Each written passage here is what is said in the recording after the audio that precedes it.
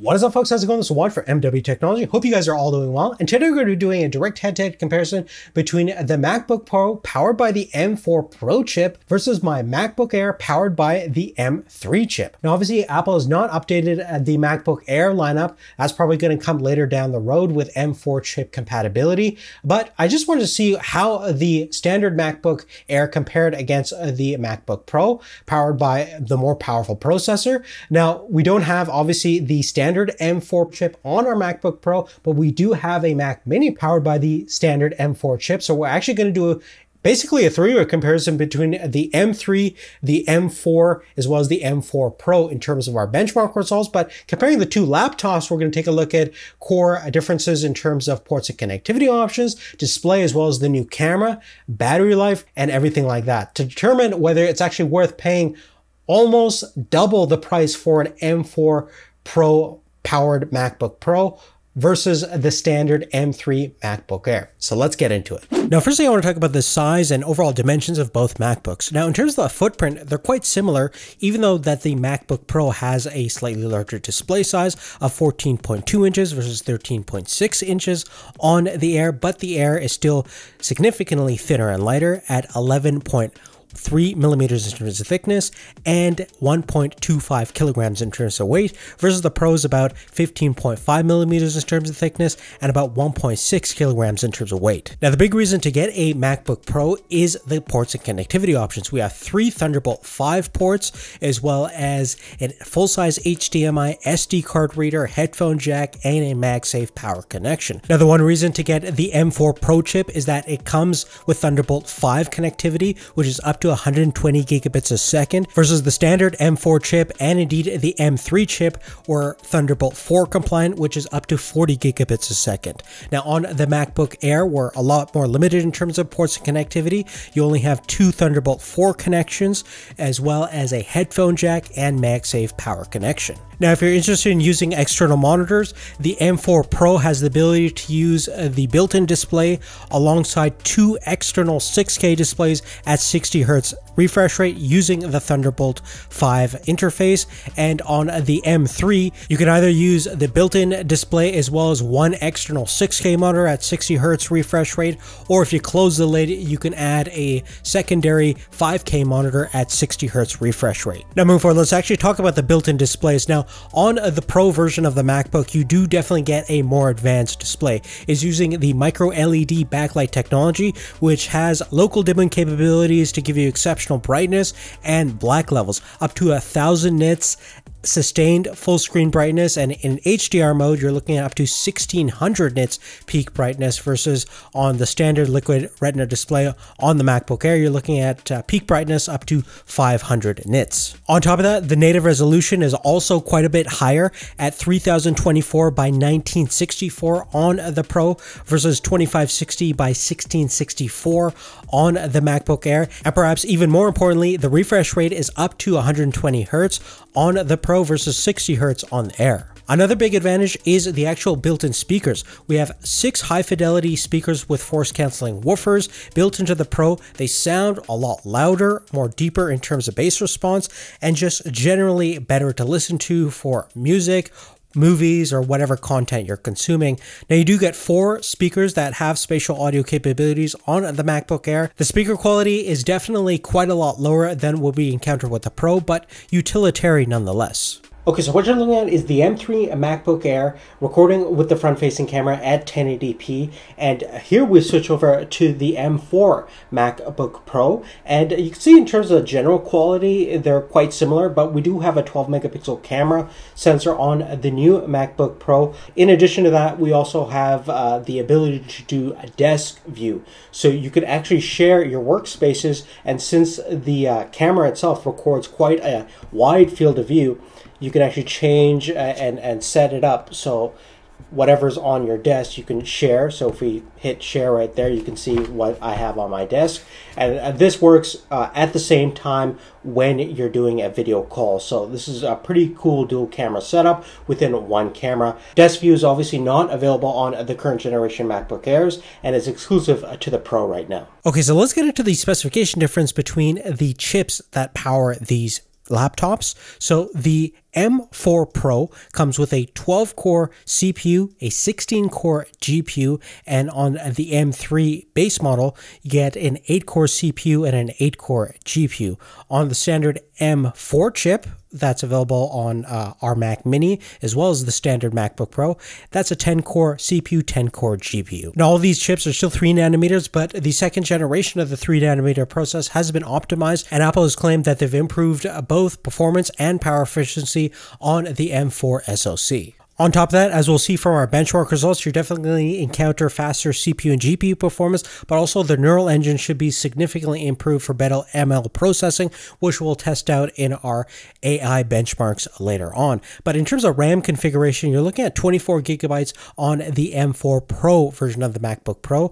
It's LPDDR5 certified, and we also have a higher memory bandwidth of 273 gigabytes a second versus on the M3 we have 16 gigabytes of RAM with a lower memory bandwidth of 100 gigabytes a second. On the standard M4 you're looking at 16 gigabytes of RAM as well on the base model with a slight bump in memory bandwidth up to 120 gigabytes a second. In terms of long-term storage, the base model of the M3 MacBook Air comes with 256 gigabytes, which we have over here, and it can go up to 2 terabytes if you configure it. The MacBook Pro either comes with a 512 and 2 terabyte SSD. And if you get the M4 Pro version, you can upgrade to 4 terabytes. And if you get the M4 Max, which is the top end, you can uh, get up to 8 terabytes of long term storage. Now, with the specs aside, let's actually take a look at our benchmark performance results. We'll first start with some machine learning benchmarks from the Geekbench AI suite. This is basically going to take our CPU, GPU, as well as neural engine and test out how accurate each system is in terms of three different scores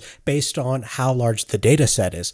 Off of a single point precision or 32 bit large data set, a half precision medium 16 bit data set, and a quantized score or 8 bit low data set. And generally speaking, the higher the score is, the better and more precise the machine learning or AI capabilities are. Now, firstly, we're going to graph out the CPU benchmark results. So this is basically testing out how accurate the CPU is in terms of ML processing capabilities. As you can see, the M4 and M4 Pro are about twice the performance of the standard M3 chip found on our MacBook Air.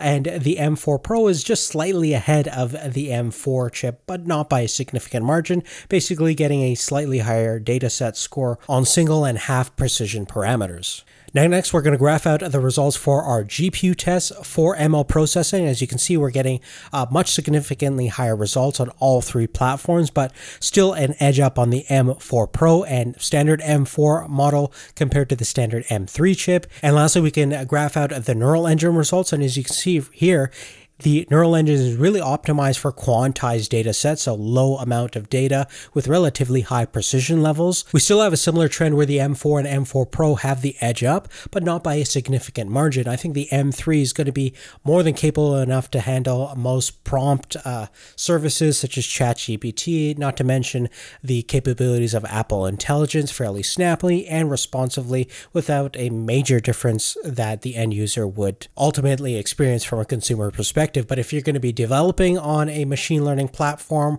or uh, create your own AI tools, the M4 and M4 Pro definitely have an edge up in terms of that perspective. Now, moving forward and take a look at the standard Geekbench results, which is just going to test out our CPU based on multi core and single core performance. You can obviously see that the M4 Pro is significantly faster of getting over 20,000 points on the multi-core and 3,600 points on the single core versus on the standard M4 chip you're looking at 15,000 multi-core, 3,800 single core and on the M3 chip you're looking at about 11,000 multi-core and 3,000 single core.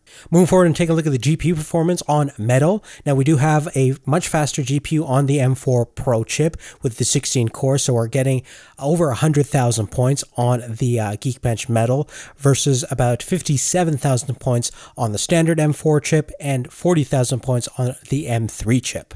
Now that's uh, the GPU performance in Metal, but how is it in terms of OpenGL? Well, using Unigine's Valley benchmark, 1080 resolution at ultra detail settings, we're getting 120 average frames per second on the M4 Pro versus 99 average frames per second on the standard M4 and 59 frames per second on the M3. Moving forward and taking a look at the SSD performance on all these devices. On the M4 Pro chip, it actually has a much faster SSD with a higher capacity of 512 gigabytes on the base model, and we're getting about 5800 and 4400 read and write sequential speeds respectively in AmorphousDiskMark.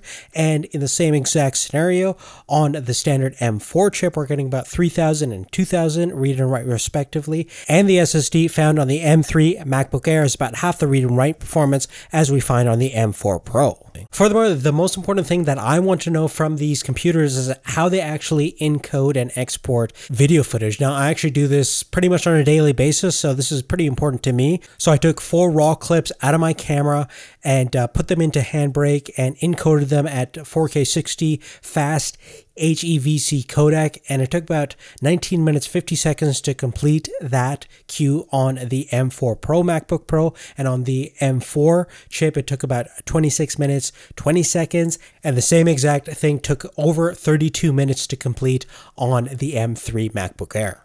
After that, I went into Premiere Pro and exported a 10 minute project using the YouTube 4K 60 H.264 preset in Adobe Encoder, and uh, that took about 9 minutes 43 seconds to complete that export on the M4 Pro. On the standard M4, it took about 10 minutes 9 seconds, so not that much slower. And on the standard M3 chip, it took 11 minutes and 24 seconds. Now, granted, if I were to use it Final Cut, I could probably significantly half the time of my export times, but I'm a Premiere Pro user. And given these results over here, I think the M3 is actually doing quite well considering the price point is uh, about half as much as the M4 MacBook Pro. So if you're going to be using Premiere Pro and expecting a big performance bump on the export times, this is certainly not the case thus far. Last but not least, let's talk about battery life. Now, in terms of the capacity itself, on the M3 MacBook Air, you're using a 52.6 watt hour lithium polymer battery versus 72.4 watt hour battery on the MacBook Pro. Apple claims that you can get up to 22 hours of video streaming on the MacBook Pro with the M4 Pro chip. On the standard M4 chip, it's actually a little bit more power efficient, so you can get up to 24 hours of video streaming. So I actually wanted to put that through the test. I tested out the M3 MacBook Air in our video playback test, and it scored about 19 hours and 4 minutes in airplane mode, just playing a 1080p video on loop. And on the uh, MacBook Pro M4 Pro version using the exact same scenario, we got a total runtime of about 23 hours and 8 minutes. Extremely impressive, probably the most amount of battery life I've ever encountered on any laptop.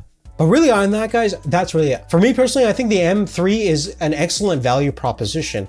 It pretty much offers 90% of the experience of the MacBook Pro, but at a much significant reduced cost. In fact, almost half the cost. And uh, even for me, that renders out HDR 4K video at higher frame rates.